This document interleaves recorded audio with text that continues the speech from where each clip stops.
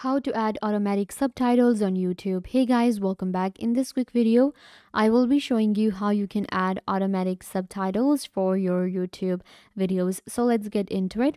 First of all, what you need to do is you're going to open up your YouTube and you will get right here. So if you have a YouTube channel and you want to add subtitles, so there's an option available on YouTube that automatically generates the subtitles in your selected language. So once you get to your channel, to your account, you're going to go to your YouTube studio. So this is what your YouTube studio will look like. And now you have to go to your subtitle option. You can see we have subtitles on YouTube available.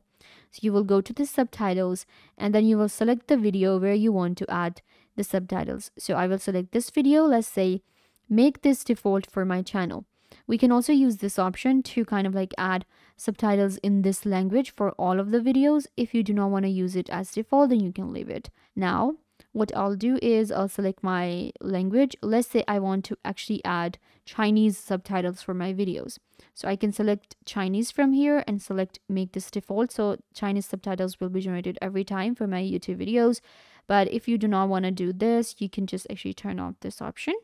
And for this video, let's say I want to add English subtitles. So I'll just search for English here. There you go. We have English United States. Perfect.